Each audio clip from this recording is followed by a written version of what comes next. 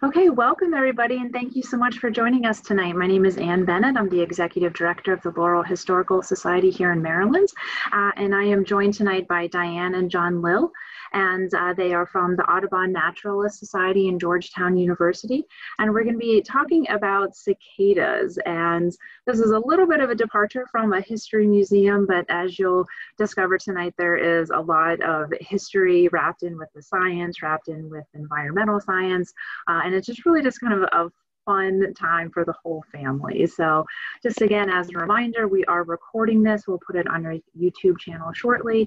And what I'll do is I'm just gonna pass it over to our guests uh, to get uh, the program started. So thank you everyone for joining us tonight. My thanks to Diane and John for joining us as well. Uh, and I hope you learned some more ways to be a friend to the cicadas. Thank you everyone. Thank you so much, Ann, and good evening, everyone. My name is Diane Lill. I work with the Audubon Naturalist Society, which is a local uh, Audubon chapter, a nonprofit that serves the DC metro area. And this is my husband, John. He's a professor in the biology department at George Washington University.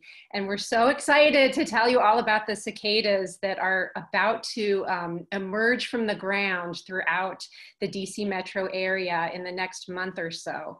And I wanted to start by showing you some pictures that I took um, just in the last few days, actually, the picture on the left, a friend of mine sent me. She said, Are they coming out? Because she was digging in her garden and she unearthed a cicada nymph that was about 8 to 12 inches under the soil. And these pictures on the right are emergence holes that I've been seeing in our yard here in Silver Spring just in the last um, two or three days. So we know the cicadas are getting ready. They're digging their emergence holes and they are um, soon going to be with us. And since we have um, hopefully some history buffs in the audience tonight, I wanted to start by reading to you from this really awesome book called Periodical Cicadas by Gene Kritsky. At the end of our talk, I'll, I'll show you how you can order this book. Um, but it has some really wonderful information, the best historical information I've ever found about um, the brood 10 cicadas that we're going to tell you all about tonight. And this is the very first record that is known um, that's been written of the 10 cicadas. It's from 1715, and this was written by Reverend Andreas Sandel, um, who preached at the Gloria Dei Swedish Lutheran Church in Philadelphia. And he wrote this on May 9th, 1715. In this month, some singular flies came out of the ground. The English call them locusts. When they left the ground, holes could be seen everywhere in the roads, especially in the woods. They were then encased in shells, out of which they crawled. It seemed most wonderful how, being covered with the shell, they were able to burrow their way in the hard ground. When they began to fly, they made a peculiar noise, and being found in great multitudes all over the country, their noise made the cowbells inaudible in the woods. They were also destructive, making slits in the bark of the trees where they deposited their worms, which withered the branches. Swine and poultry ate them, but what was more astonishing, when they first appeared, some of the people split them open and ate them, holding them to be of the same kind as those said to have been eaten by John the Baptist. These locusts lasted not longer than up to June 10th and disappeared in the woods. So with that, I am going to turn it over to John to teach you all about these amazing insects that we are about to meet called cicadas. Great, thanks so much, Diane. So um, as Diane mentioned, I'm a professor and currently the chair of the biology department at George Washington University in DC.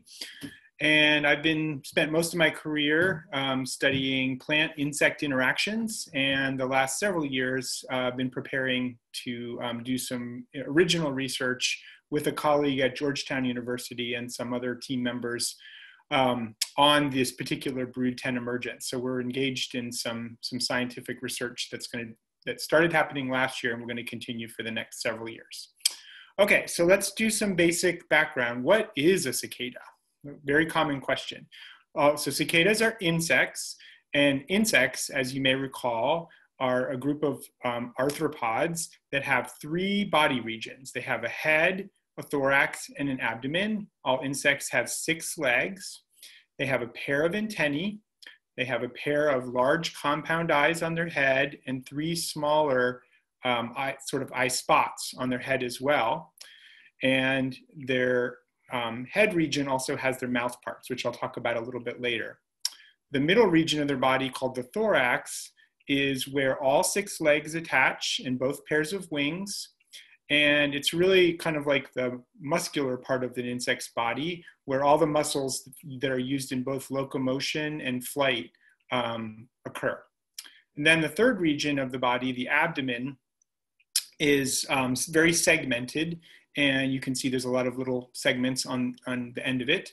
And contained within the abdomen, there are a variety of internal organs. So this is where insect digestion and the reproductive organs are all found. Okay. Um, and so people often wonder, well, what, what, what are cicadas related to?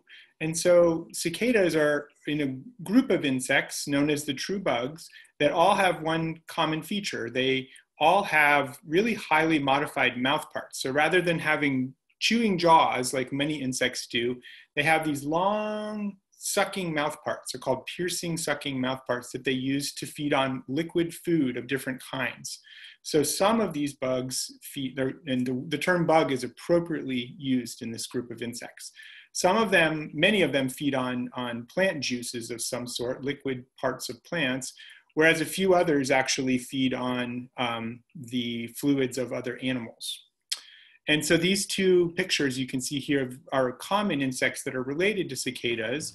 The top one are, are, some yellow aphids that you might see in your garden. And the bottom one is a um, stink bug. So stink bugs are related as well. Um, this large green and black insect here on the right, you can see, is also a cicada. And this is the, the more common um, cicadas that we, we, we, generally refer them as, as the dog day cicadas, but they're what we refer to as annual cicada. And there are a bunch of different species of cicadas that occur in our region, somewhere around 17 different species that occur regularly.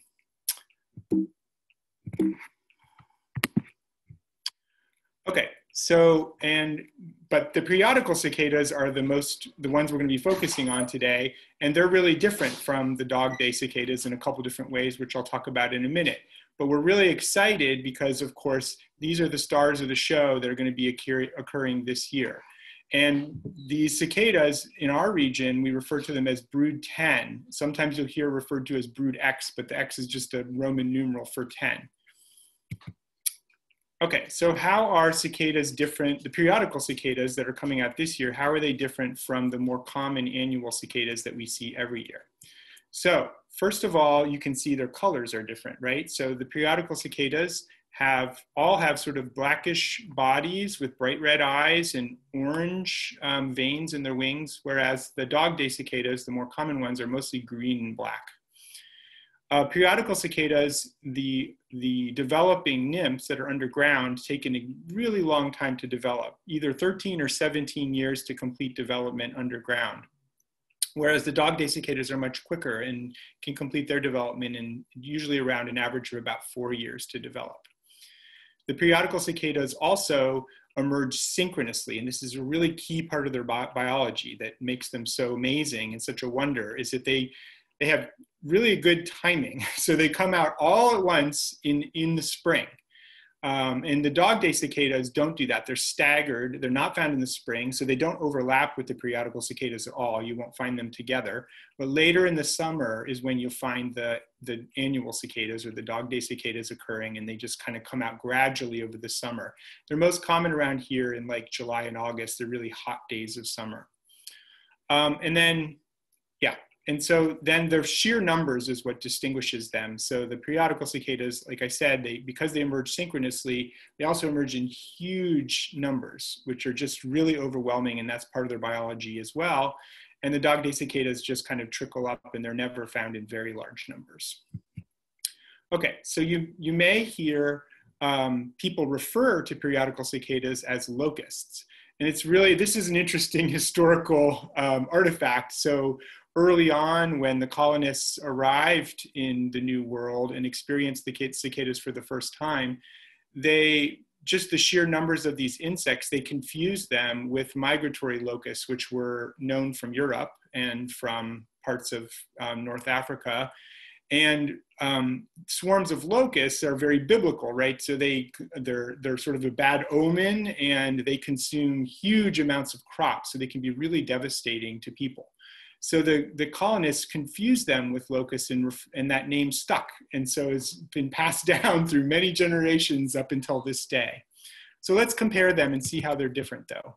So as I mentioned before, periodical cicadas are part of a group of insects known as true bugs, um, whereas locusts are a type of grasshopper. So very different, a totally different order of insects. Um, periodical cicadas have two pairs of clear membranous wings, as you can see in this picture, whereas the wings of grasshoppers are actually all folded up underneath these leathery outer wings. So you, you don't even, they don't even appear to have wings when you see them walking around, but they do. Um, periodical cicadas, as I mentioned before, have highly modified mouth parts for feeding on plant sap, liquid parts of plants whereas grasshoppers have more traditional insect mouthparts. They're mandibles for chewing and feeding on leaves and above ground plant tissues. Periodical cicadas do not feed on crops at all, so they're, not, they're no danger to anybody's agriculture, whereas um, grasshoppers are a pretty significant agricultural pest and can, can be quite destructive. Okay, so a big question about periodical cicadas is where are they found? And this is a really great map that was produced by the USDA um, Forest Service that maps the locations of periodical cicadas in North America. And what you can see is that they're pretty much confined to the eastern part of the United States. So on this map, um, you, it's divided and color coded by what's known as the broods of periodical cicadas.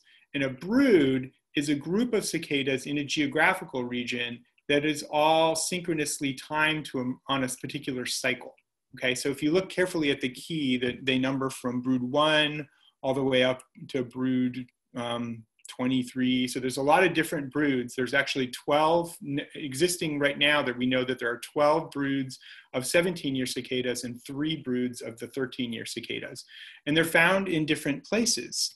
And so um, and and they emerge in different years. So in men, most years, there's a brood emerging somewhere in the eastern United States.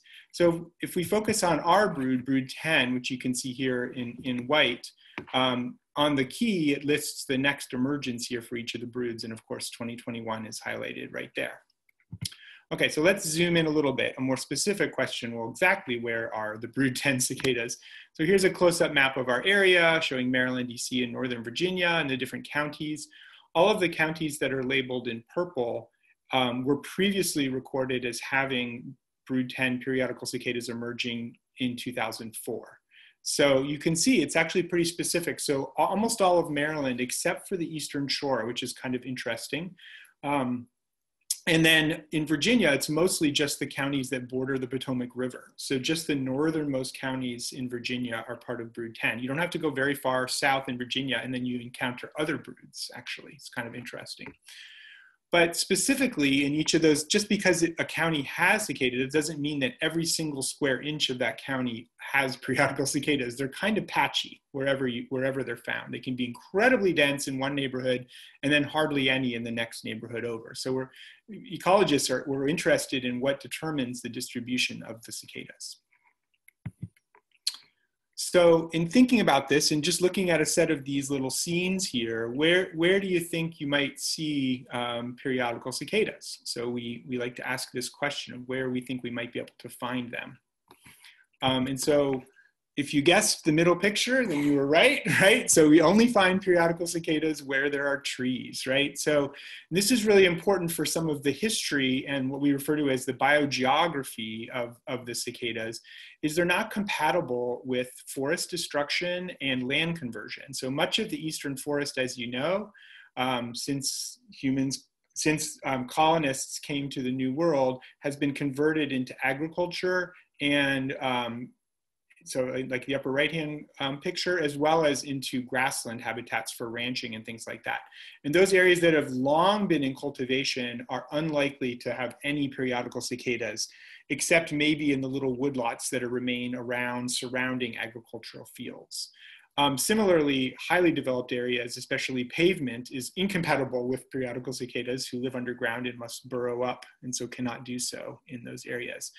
And then we have a big question mark for the suburbs. And so the suburbs are really funny. So some suburbs um, that were developed in such a way that retained large mature trees when they built the housing developments have always had periodical cicadas and probably always were, will. And so where we live in Silver Spring is a good example. It's incredibly dense for brood 10 periodical cicadas.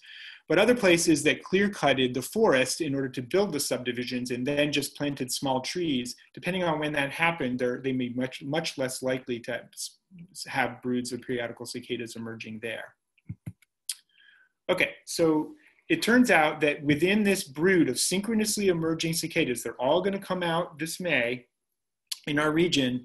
There are three different species contained within that brood, and that's true of most of the 17 year broods of cicadas. They have two to three different species that co occur and are synchronized in their life cycles.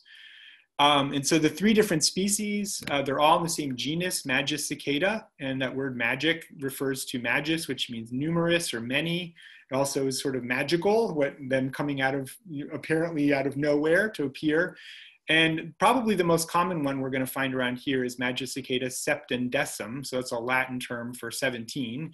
And that's the largest species. And you can tell the different species by turning them over and looking at their abdom abdominal segments. So we talked about the abdomen, the third body region of the insect. And septendecim has really broad orange stripes um, on the abdominal segments. Uh, the smallest one is Magicicada cassini, and cassini is the abdomen is almost all entirely black, and they're a little bit small, or quite a bit smaller actually than septendecim. And then all, another one related to cassini is septendecula, another way of saying 17. Uh, they're a little bit bigger than cassini, but they, they have sort of a, a mix of black and orange, very thin orange bands. So that one is the least common. Okay, so I'm just going to go over a little bit about the basic life cycle of the cicada. So um, one of our team members um, is a really talented artist, and she's also an entomologist, and she painted all the artwork here in this nice little diagram. So we're going to start in the lower left-hand corner um, underground, which is where exactly where the periodical cicada nymphs are right at this moment. So they're fully developed, living underground, right there, getting ready to, and they've they're actually digging their tunnels right now, as we saw in our yard this morning. And so they're digging their tunnels, and then in May they're going to finally emerge, and they're going to crawl out of the soil. And the first thing they're going to do, it's going to happen at night, and they're going to crawl onto a tree in order to um, do their very last molt to adulthood. And I'll talk about that in more detail in just a minute. So then once they'll take that evening, they will molt into the adult um, the adults will kind of settle for a little while. They'll harden up for a couple days, and then they'll fly off to the trees where the all the excitement, the big show, is going to begin to happen. Where males will begin to call. Um, they'll get together and um, attract females for mating. Once mating has happened, then the, the males are basically done then. The females will fly off and to look for oviposition sites. So they're going to look for good places to lay their eggs to start the next generation. And soon after that, um, by mid June or so, the whole show is over. The cicadas will mostly die. The adults are very short lived. And then everybody's going to forget about them. But hidden in the trees, their eggs are going to be developing all summer. And in the late summer, usually around early August or so, the eggs will start hatching. And the tiny, tiny, like small ant sized nymphs will then jump from the branches, um, lightly landing on the soil, and where they will quickly burrow in to begin to feed on tree roots and spend they'll spend the, where they will spend the next 17 years developing not to be seen again until 2038 okay so just a little bit about their life cycle. As i mentioned they have three life stages. Um, they start out as eggs if those will hatch into the nymphs which will that's the growing stage where they will be feeding underground. And um, they need to molt. So they have to, in order to grow bigger, because insects have their, their skeleton on the outside, known as an exoskeleton, they have to molt every time that they want to get bigger. So they have to shed their skin and grow a new one. And they do all of those molts except for the last one underground. So out of sight, nobody ever really sees them and and then finally they're going to come out as adults. And this this life cycle is a, is shared by a bunch of different insect groups. They're a little bit more primitive and it's known as incomplete metamorphosis. And we say that because when the the last instar nymph crawls up it looks pretty much like the adult except its wings are not expanded and um, it doesn't have its um, the their reproductive organs are not completely developed but other than that they look pretty much like the adults. So there's not such a dramatic change from the last instar nymph to the adult. They're about the same size and everything okay? And this is very different from the more typical insect life cycle that we teach to kids you know in the counties around here all the time as part of their science units um, where there's actually four stages an egg which hatches into a larva, and so a different name than a nymph, and that's the equivalent, that's the growing stage, the feeding stage of, of things like butterflies and moths. And the larva um, is, is designed specifically just for feeding. It will molt several times as well, and then turns into a, a third stage known as the pupa stage, which the cicadas and other insects don't have. And that's where metamorphosis really occurs, where there's a dramatic change where the larva turns into the adult. The mouth parts change, the whole body changes, they get wings. And so there's a very dramatic transformation. So we refer to this as complete metamorphosis. So that's how it differs. Okay, so the cicada life cycle I just described briefly um, if we want to put it in a temporal context, this, this little wheel that we created here um, indicates the total generation time of a single generation of cicadas, which is, again, about 17 years. And so what you can see is we divided the, the um, total time into three different colors. So we have orange for the nymph stage, um, blue for the adult stage, and red for the egg stage. And what we tried to make it more or less proportional. What you can see is that periodical cicadas basically spend 99% of their entire life as nymphs, right? So they're very short-lived as eggs and even more short-lived as adults. So even though the adults are the big show, they're just a tiny little blip in the life cycle of these insects. Okay, a little bit about their feeding. I mentioned that they have these really odd mouth parts. So this is a, an old diagram from 1898 of the close-up of the modified stylets, um, or sometimes they refer to as the beak of these type of insects. That's again, it's this piercing, sucking mouth parts, where they basically plug into the plumbing of a plant. And all the insects that have this kind of mouth parts, they feed on one of two different types of tissues in a plant. So there's two types of conductive tissues in, in a plant. There's xylem and phloem. And xylem is the tissue that brings water and nutrients from the soil up into the plant, into the leaves. And phloem um, is where the sugars that are produced in the leaves and stems are then shunted around to feed the cells in the rest of the plant. So they're kind of doing different things. So aphids, for example, feed on phloem, which is very sugary rich. So the cicadas are feeding on the xylem, and by feeding on the xylem of the roots, they're basically acting like roots themselves. They're getting the same nutrition that the plant is deriving right from the soil, which is really poor nutrition. It's mostly water and a little bit of nutrients. And that's part of the reason probably that cicadas require so much time to complete their development is they have a really poor overall nutritious diet. But in order to supplement their nutrition and, and grow as well as they do, um, most sucking insects have evolved a specialized relationship with bacteria that they have in their guts that are called endosymbionts. So there's specialized bacteria that live within their guts and do things for the insects. In this case, they have there's two species with the periodical cicadas that manufacture many of the amino acids, which are the building blocks of proteins that all animals need in order to, to grow.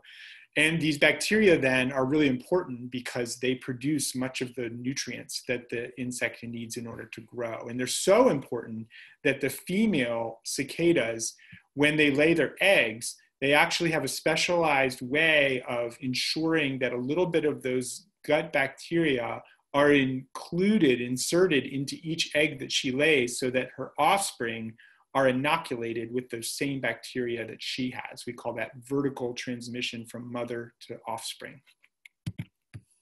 Okay, so this is where they are now. This shows the last instar nymph just getting ready. They're down, they're about 12 to 18 inches below the soil surface in their last little chamber. It's like a little, a little cave. They're, they all live alone underneath in the ground. So ever since they got to the, the soil, they've been basically living on their entire life solitarily feeding on a root. they move around a little bit in the soil, so they probably move from one place to another as they find better feeding locations but they basically, for the last year, they've been in this little chamber. They're done developing right now, so they're getting ready to come out. They're fully grown, and you can see in the central picture, you can see they have bright red eyes. So their eyes have changed color. They were white for the first 16 years. As they head into their 17th year, they turn red. You can also see the little folded up wing buds that are going to be where the wings are going to going to expand from. So they look pretty much like the adults. And so then what's going to be happening starting sometime in May when the soil gets warm, a little bit warmer and the days get a little bit longer, there's going to be some cue that we don't quite fully understand, but it's a combination of temperature and light that's going to tell all these cicadas that have built their tunnels that, okay, now it's time to come up. And up they're going to come, right? And so we're starting to see the holes now because they're preparing them. Um, and some of them just look like holes in the soil, and they're about the size of a I don't know, maybe a dime or something, yeah, in the soil. And some of them, if it's sandy, um, that you might see that they actually, as they build their exit holes, they build a little tower called a turret um, out of soil or mud, um, which is kind of interesting. Some of them do that. Okay, and then um, what's going to happen is soon, when they do emerge, and I mentioned this always happens at night. So you want to, uh, on a warm night in May, especially after rain, there's going to be some cue and they're going to start coming up. And these last instar nymphs are gonna crawl a couple feet off the ground, usually on vegetation, but on fences, they like fences. They'll, they'll climb, climb on pretty much anything.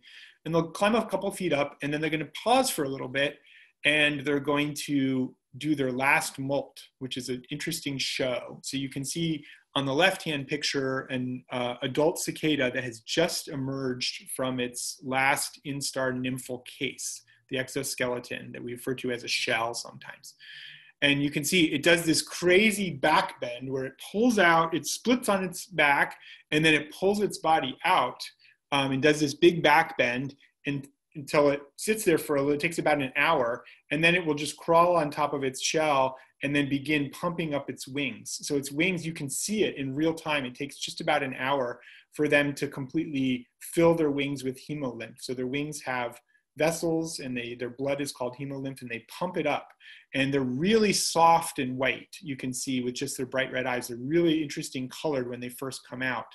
But by morning they'll like i mentioned before they'll harden. And so once these adults are out they've left behind um, their nymphal cases the, the shells you can see on vegetation and they're really fun to kind of collect.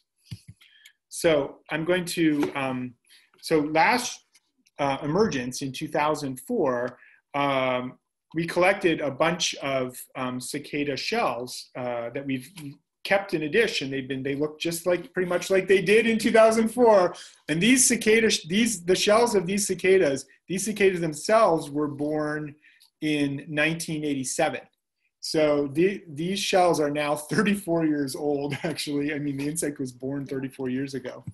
Um, yeah.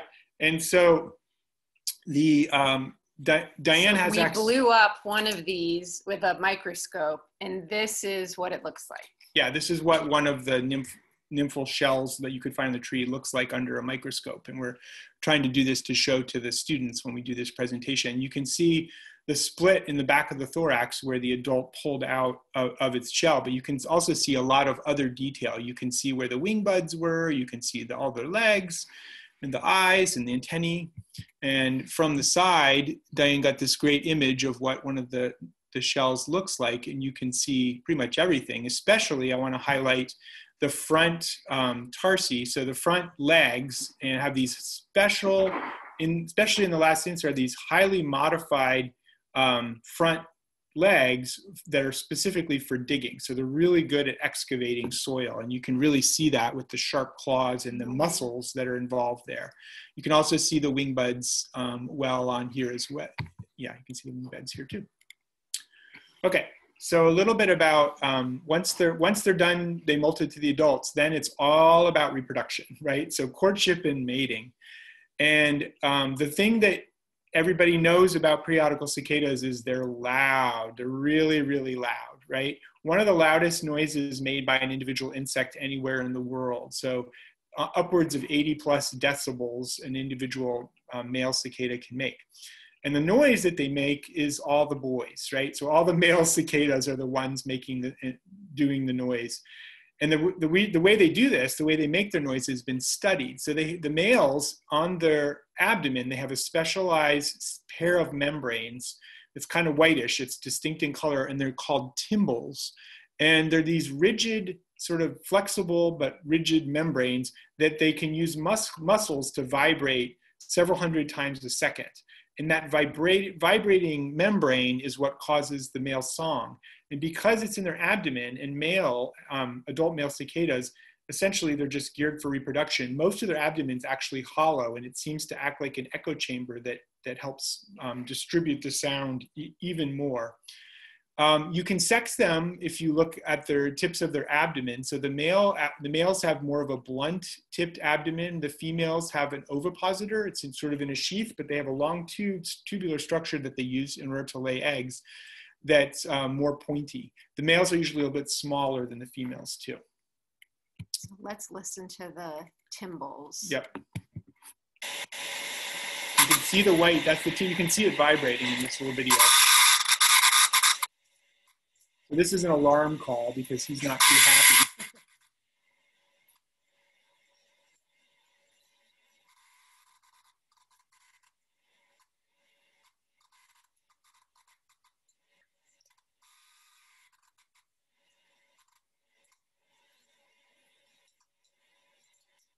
Okay, so that's what a cicada sounds like.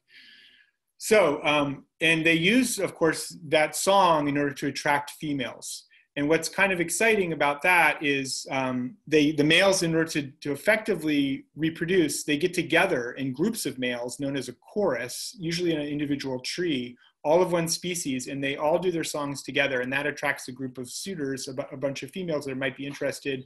And if they find a male song they like, they mate. It usually takes a couple of hours or so. Um, you find them joined at the abdomens. Um, and once they're fertilized, once the females are fertilized, the males fly off to try to get another mating. The females only mate once, whereas the males mate several different times. Um, once the female is mated, then she's all about um, reproducing. So she's, it's her job to then seek out and lay the next generation of cicadas. So in this lovely diagram, the upper left-hand corner, it's actually a painting.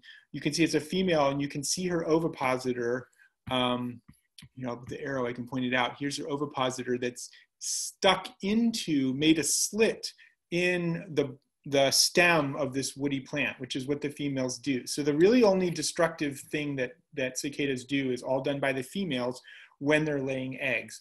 So they, they cut a slit, a vertical slit in the stem of small woody twigs that are usually about the diameter of a pencil. So the terminal ends of small branchlets um, on woody plants, and they're not too picky. They use a lot of different plant um, species. So if you have really small plants that um, you're worried about, then you might put some netting over them to protect them. So she'll, she'll poke holes in multiple places and lay little batches of about 20 eggs until she's laid somewhere between two and 400 eggs and then they're going to sit there for um, for four to six weeks until they finish developing and then the little first instar nymphs as i said they'll drop to the ground. But all summer long later and into the fall we'll see these this um, scene in the right hand picture where there's all these dead leaves or terminal branches of where these egg nests, nests have been laid and it's called flagging. So who eats cicadas pretty much anything that can eat cicadas will. They're really nutritious. So lots of birds, lots of um, mammals, including squirrels, which aren't normally very insectivorous. They'll just gorge themselves on cicadas, possums. People's pets will eat them. Fish have been known to eat them, foxes, raccoons, you name it. Also, people eat cicadas. Um, there's a lot of uh, interest in this. There's a couple different cookbooks that are around. We know from historical records that uh, Native Americans also ate cicadas, both as kind of a delicacy, as well as a survival food. So Native Americans were well aware that during starvation periods, they could always dig up cicadas um, in any place and find enough that they could put together a meal. So there's lots of different ways to prepare them. Be prepared to see them on the menu at some fine restaurants in DC and Georgetown. Okay, why are there so many? This is a really important question that a lot of people ask. Why are they in such large numbers? The large numbers is the key to their survival. So unlike a lot of insects that have all kinds of defenses, hairs, spines, stingers, poisons of all kinds, periodical cicadas are basically completely defenseless. The, all they can do is fly a little bit, and they're not even that good at that, and buzz, they make some noise, but that's about it. So anything that can eat them will. So the way that they, the key to their long-term survival has been to just overwhelm their predators by occurring synchronously in such large numbers that they completely satiate all the possible predators that might be interested in eating them. So that's an, a a technique known as predator satiation, and that's the way we, the reason why we think there's so many. Okay, a lot of people wonder how they tell time, and this is still a little bit of a mystery, but we're beginning to understand it. So what we know is that because they're underground, they don't have access to the same temperature and light cues of the seasons that, that organisms above ground would. So it's been a little bit of a mystery. But because they're plugged in pretty much all the time to the, the plant, they're able to derive plant-based cues about the seasonal changes that happen every time the plant, deciduous trees, flush a new set of leaves, there's a different chemical composition and flow rate of the xylem sap that they're feeding on. So because that happens predictably every spring and then shuts down in the fall, we're pretty sure that they're using those seasonal cues in order to keep to um, count. That's what they're using to count. And we know that specifically because some scientists did a little experiment where they removed the leaves of, of tree um, early in the season, forcing the plant to shut down and then flush a new set of leaves, which is what defoliated plants will do. And sure enough, the cicadas that they did that to counted an extra year and came out a year early. So they, they're pretty sure that they're using the plant as a way to tell time. What they don't know is how they remember, how they keep track of how many time, years have passed. They're not putting little marks on the walls of their cave. So we, that's still a bit of a mystery, but we think it has a genetic or epigenetic mechanism that has to do, yeah, with some complicated biochemistry. Um, and then I mentioned that there are that lots of things eat them, but those are all generalist predators. The only specialized enemy of the cicadas is this bizarre fungus known as Massospora cicadina. And it's a specialized fungus that is in a resting spore in the soil for all the years that the cicadas are developing underground doing nothing. Then, right in a couple of weeks, when these guys start emerging, those spores are going to germinate and be picked up by the nymphs as they emerge from the soil and infect them. The spores um, grow and multiply in their abdomens of the cicadas which as you remember, all the muscles are, are in the um, thorax. So this actually doesn't harm the cicadas much. They're still active and flying around and they'll still attempt to mate and do all their normal reproductive behaviors, which actually just serves to transmit the spores. So basically the spores have sort of taken over the bodies of the cicadas in order to ensure their own reproduction. One really bizarre thing about the fungus is that um, males that are infected with this fungus instead of calling like normal males, they'll sometimes respond to other males and use the female response that insinu- that it suggests that she's interested in mating, causing males to try to mate with each other, which just serves to transmit the spores between males. So it's another clever sort of sexual mimicry that the cicadas use. Okay, then what happens to dead cicadas? So what we know is um, cicadas, once they die, and there's gonna be a lot of dead ones, you'll smell them. They have a very characteristic smell when they're decaying. A lot of scavengers will just eat dead cicadas of different sorts. And then there's a lot of bacteria and fungi that will break it down, causing this big pulse of nutrients that go back into the soil to feed the very trees that the next generation of cicadas is going to use as its host plant. So it's sort of the full circle of life.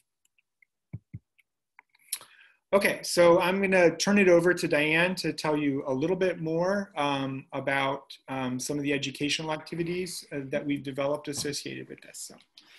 Yes. I'm sorry, John and Diane, can I break in? Because we've got some great questions for John, and I just want to say, do you want to answer them now, or do you want to wait until Diane is done with her part? What do you think? I don't care. Um, let, us do it at the end. I think we can, because there might be a bunch of questions at the end. Okay, so, that's yeah. perfect. All right, we got a really active audience here. So, all right, Diane, take it away. Thank you. I just wanted to recognize our other partners on this project, Martha Weiss, who's a professor in the biology department at Georgetown University, and Zoe Getman Pickering, who is a postdoc with, with my husband, and she did all of the amazing artwork on our project. So we have everything on this website, friendtocicadas.org, and we felt like there um, this is such an amazing opportunity to teach children not to be afraid of insects and to teach them about the amazing wonders of nature and to appreciate nature. So that was our goal with um, the friend to cicadas materials and we're having a haiku contest and we also have this digital notebook um, that students teachers can download a writable pdf directly from the website you know since we're still in this hybrid um, learning situation. And these are just a couple of pages that I pulled out to show you that we've incorporated history into the digital notebook. We have multiple subject areas. We have math, science, music, history, and we have a really cool cicada timeline. We have some amazing writings from Benjamin Banneker, who um, reflected on the cicadas. So we hope you'll check that out, especially if you have children in your life who might be interested in this. And the book that I read from at the beginning, I did want to mention this is really great if you're interested in the history and you want to look back at all the historical records we have of the brood 10 cicadas. Um, you can get it on Amazon, but it's also, if you wanted to support Audubon Naturalist Society, you can shop online at our Audubon Naturalist shop, and we are carrying the book there. You would have to go to anshome.org and then when you get to the naturalist shop page, click on the shop online button. So um, with that, we did want to, while you're thinking of all your questions and putting them in the chat, I wanted to play this video that just shows you in beautiful, beautiful um, videography, everything that John just explained about the cicadas. And then we will answer questions after this.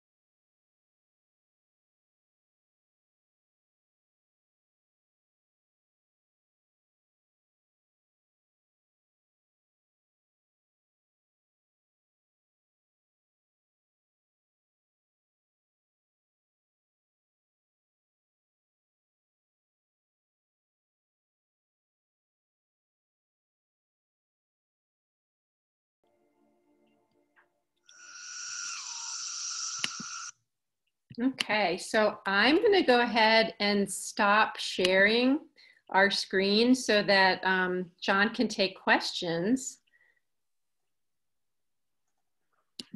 Okay, yes, let me, while I figure out how to get my video back up, I'm gonna ask John the first question. Uh, so we had a location question. Uh, two of our participants wanted to know, will they also be emerging both in the eastern panhandle of West Virginia and also what about New York City uh, and New York State? So yeah, so they're definitely going to be in the eastern panhandle of West Virginia, but not far into West Virginia. So there's another brood that's in part of it, but the eastern panhandle, Harper's Ferry and all that, it's going to definitely be um, brood 10. New York historically had a little bit of 10, especially out on Long Island. But I think the long term development in agriculture that's occurred there over a long time has caused it to go mostly locally extinct. So it's unclear whether, you know, they probably were in what would become New York City once upon a time, but they're not really found in New York City proper anymore. But uh, there are tiny bits of it that apparently are still in very specific locations on Long Island that the uh, team is going to be documenting this year exactly where they are. Okay, great. Uh, and then Jody had a question about uh, going back to their appearance. So she thought that the wings and uh, kind of look upside down. And if you look at them, they kind of look like they, you know, they might not fly like we're used to seeing other insects or butterflies fly. Uh, so she wanted to know, is there a reason for it? Is that why they kind of uh, fly differently or more clumsy than other insects? No, I mean they're they're not great flyers for sure. I think they're you know they they're pretty good at crawling, but they they can fly decently well, and the females will to to find new locations. But their their wings, like a lot of insects, they're held kind of roof-like over their body, so they have two sets of wings held back and kind of like like a roof over their body. So that's why it looks it's different from a butterfly and a lot of butterflies instead of having them roof like they hold them together straight up over their body. So really the butterflies are more the exception. The cicadas are more typical of a lot of insects actually so. That's great that's great. And so i know you said that they can be eaten humans can eat them and it's okay. So if yep. you catch your dog or your cat or you know your your pet's playing with them or eating them that that's okay Yes, so they will definitely. They're a delicate. I mean, dogs like them, and the pr- only problem is that they're full of chitin. So the protein, the, the hard shell the exoskeleton, is this pretty tough chitinous, you know, um, substance that if they eat too many of them, it can cause them some digestive distress. So um, so a lot of dogs that like, it's probably not a good idea to let your dog just go hog wild and eat as many cicadas as they want, or you might be at the vet. so the vets know this is coming and they're probably getting ready as we speak, you know, to handle the, this, but um, yeah, yeah, our, our vet actually recommended using a muzzle, um, a soft muzzle to prevent them when you're out walking if you don't want your dogs to eat too many cicadas. We have beagles and they'll eat anything and they're going to love to eat these things.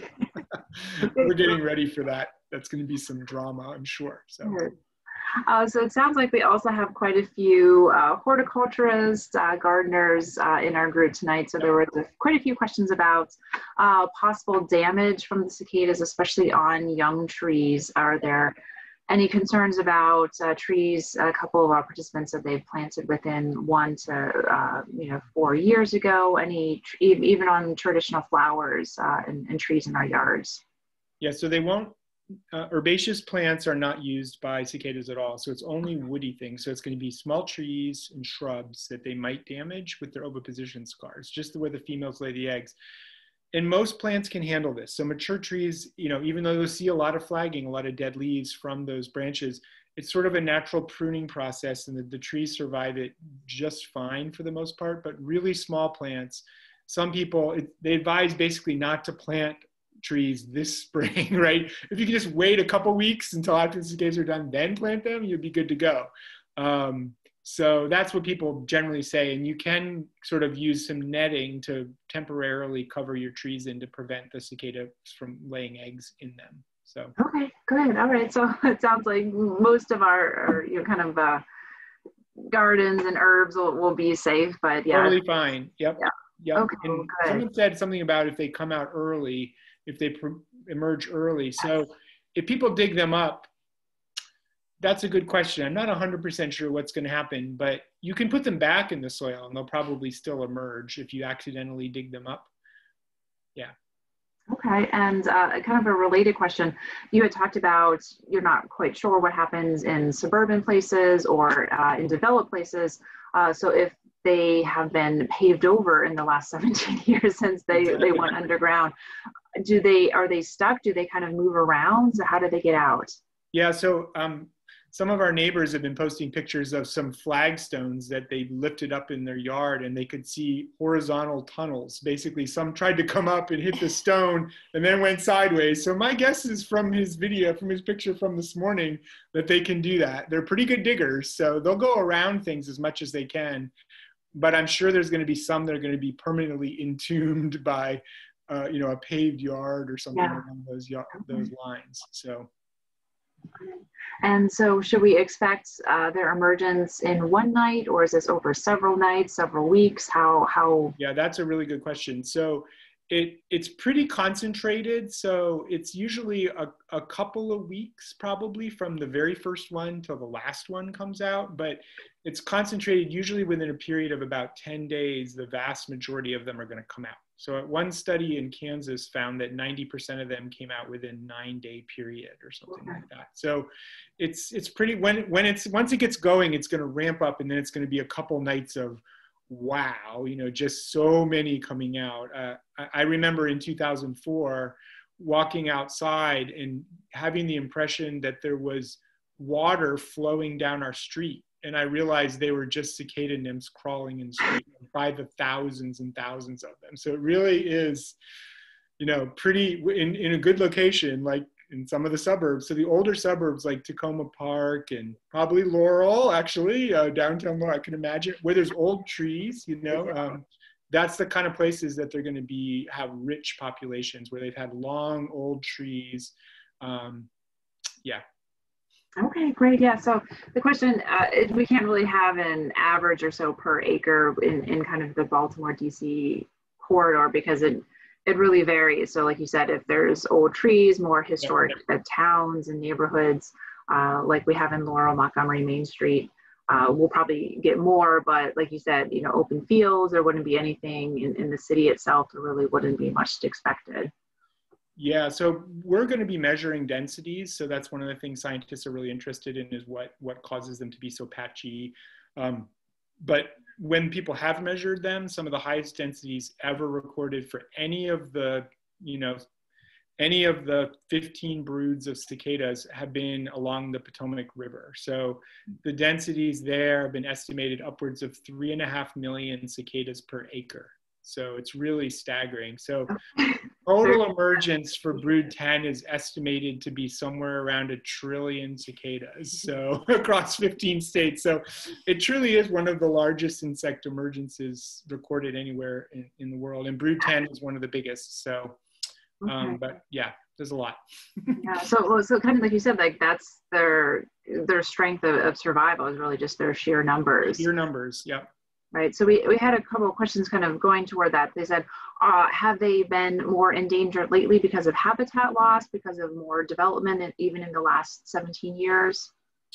That's a really good question. So we haven't done a very good job of documenting either densities or even the geography, uh, exact geography. So there's a new um, team from the University of Connecticut and some um, colleagues at St. Joseph's University that have an app where they're tracking the emergences, where they're asking people to volunteer. So it's it's called Cicada Safari, and it's an app that anybody can download on their phone, and it just lets you take a picture and it automatically uploads the geo the geo references with the location of where you saw the cicadas, and then they'll sort of ground truth that, and they're using that to really um, very finely map the, the edges of the distribution of all the broods. So this, this app has been going for a while now, I think.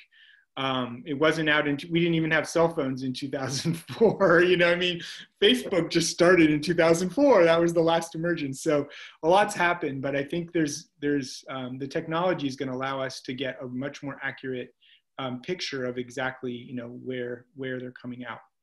Okay, so in addition to uh, the cicada safari, is there any type of um, website that kind of tracks them? That kind of has like an almost like a, an alert system, like this, you know, this week be on the lookout. Is that something they can get from your website?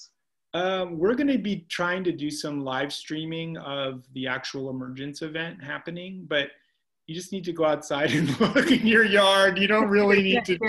I, I, would encourage you not to go on your computer. Go outside and look at this event because it's really amazing to see. And you can just go out in the evening and just watch it. It's a nighttime thing. Bring your flashlight or your headlamp. Bring your grandmother and your four-year-old maybe not your dog, but everybody else, and and watch the event happening. I think it's just fascinating for people to see it happening right in your backyard or in a nearby park or wherever. So. Absolutely. Uh, so we had a couple questions again going back to the the predators. You said that really they don't have many natural predators, uh, but uh, there was a question about uh, wasps or bees actually called cicada killers. Is that that's right accurate? Yeah, so there's a uh, one of our one of our largest um, native wasp species um, is, a, is the common name is cicada killer, and they do they the females sting and paralyze adult cicadas and then bury them underground where they lay their eggs on them so they have fresh meat basically to lay their developing wasp larvae in little underground burrows but the cicada killers only feed on the annual cicadas, so they're not out yet. They're, they don't, they won't come out until the summer after the cicadas are done. So a lot of people refer to them and think that they're involved with the periodical cicadas, but they, they only feed on the annual cicada. But that's okay. really, it's a really good question. Okay, good. Uh, kind of similar, there there have been things that we've seen on Facebook, especially, uh, and one of them has been warning us about uh, snakes and particularly copperheads. That they like the cicadas. Is this the same thing that we should be worried about, or is this kind of? You know, uh, yeah, I saw that too. I just saw that on Facebook. Um, I think it's interesting that snakes will. I mean, just like a lot of things, anything can feed on these these insects. So rats are more of a concern to me. yeah, so there we do know that a lot of the generalist predators that will take advantage of this bounty, you know, of cicada prey are going to um, exhibit what we refer to as a numerical response. So that means that they're going to reproduce much better this year than they have in years prior because of all this extra food. So songbirds in particular, there's well documented patterns of increased nestling survival and reproduction in cicada emergence years all around the eastern US because different broods are coming out different times. So people have studied it in all different kind of places. So not all bird species eat cicadas, but the ones that do are going to do better and there are going to be more of those birds next year. And so my guess is that for all these other things, including rodents, so especially rats, um, we had a pretty much big explosion of rats the couple of years after the cicada emergence in the suburbs in Silver Spring that I'm sure was related to, to that phenomenon. So um, who know, but you know, the, the interesting thing is very few people have studied the ecological impacts of the cicada emergence on all these other things. And so that's one of the, the big goals of our own research program is we're trying to document this sort of cascade of indirect effects that the emergence propagates in ecological communities in surrounding forests. So. Great. Um, just a few more questions to wrap up. They kind of, again, go back to locations and where can we expect them. So is this something we're going to be seeing further east in Maryland, like Eastern Shore? Um, I know, you know, they're kind of, you know, more sandy soil, less trees out there, but is that something where we can expect them further east? Yeah, no, they, they drop out um, on the Eastern Shore. So we think, according to some old maps, they used to occur there, but they've been probably gone for a while. So they're not recorded for any of the, uh, if you go across the Bay Bridge, you're not going to find cicadas essentially. You have to go all the way north to like Cecil County mm-hmm. um, in the far northeast part right. of the state to find them. But pretty much the Eastern Shore is, is not going to have them. Even, even Anne Arundel County is kind of the dividing line apparently because they're basically not very common in Annapolis and east of there. And I think it's probably because that land mostly had been farmed for a really long time. And so, and it also gets to be more Eastern Shore floodplain. Yeah, with, right. you know, the soil's not quite right for the for them or the trees or it gets flooded or something. But um, yeah, there are cutoff points there. Okay.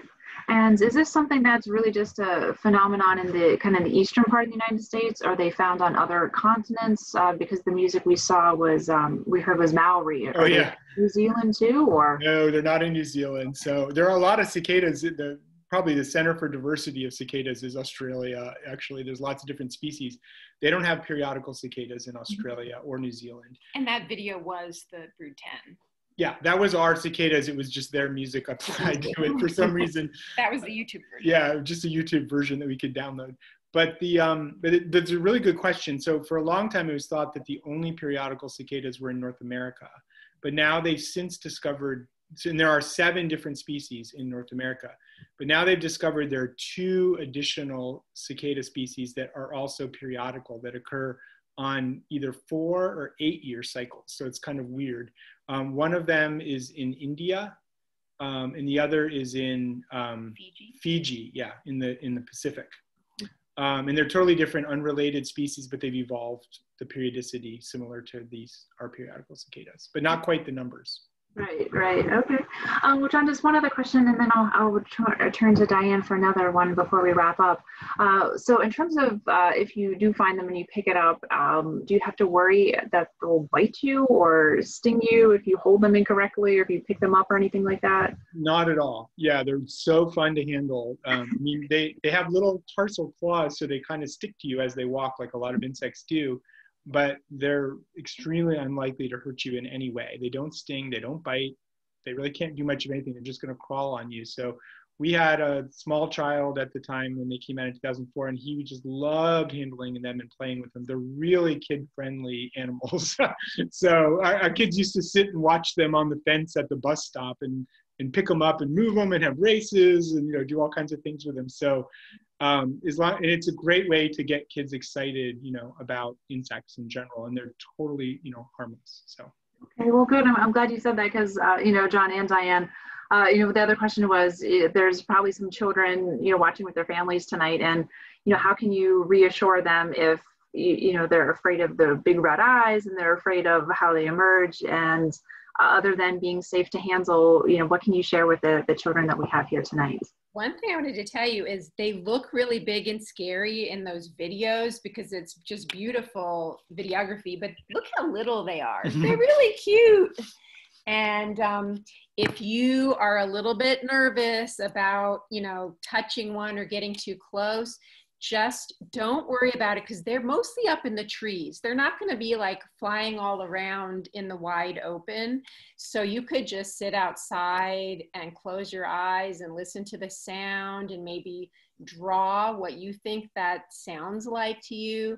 And if you really want to look at them up close, but you're not quite ready to um, touch a live cicada, remember they shed their exoskeletons. We collected all of these, and this is just a shell. It's just the outside part. It's not alive. So you can feel free to pick those up off of the trees and look closely, and maybe that'll be a way for you to, you know, um, get to learn about the cicadas a little bit without being scared. And definitely check out our website, friendtocicadas.org. Yes. Uh, so yeah, if you want to put that in the chat, I'm gonna um, access that in just a second. And I just want to say, as we wrap up, thank you so much to John and Diane. If there's any last minute questions, I'm sure they can talk much more about it tonight. So uh, if you have anything, please don't be shy about that. Uh, I just want to share my screen, screen just briefly, and uh, I will uh, just wrap up and show you some of the, let me just doing two things at once here. So there we go. I just wanted to show uh, some of our upcoming programs just to just let, let you know that we do have a few other things coming up uh, in the spring. And what I wanted to say is that uh, coming up at the end of the month, kind of to continue our outdoor garden environmental education theme, uh, we will be celebrating National Garden Month with a collections conversation, which is an informal discussion that we have with several guest speakers, uh, looking at some of our collection items, our archival materials, our photographs. Uh, and so we'll be talking about Montpelier Mansion, uh, Snow Hill, and the Gardens of Laurel. So we'll be talking about that on April 22nd uh, in the morning at 11. Uh, and then next month uh, for our regular spring webinar series, we're going to be talking um, about the Guilford Quarry Cemetery. So kind of a belated celebration for Maryland Archaeology Month, which is actually happening this month in April. Uh, so we'll be talking about some of the historical research and archaeological investigations uh, that have been happening uh, in the Guilford District, uh, which is in, Har in Howard County, just north of us here in Laurel.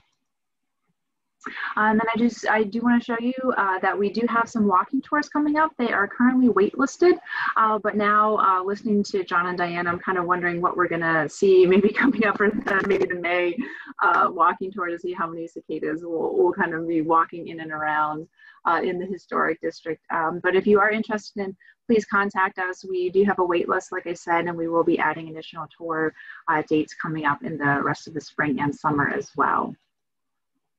Uh, and then just a, a, quick plug for the museum uh, to support us in various ways. Uh, one of the ways is that you can become a member of our museum. We have various levels of membership from individuals to families, especially if you and your children are listening uh, with us tonight. You can join as a family to support the museum, uh, as well as business and um, student memberships as well.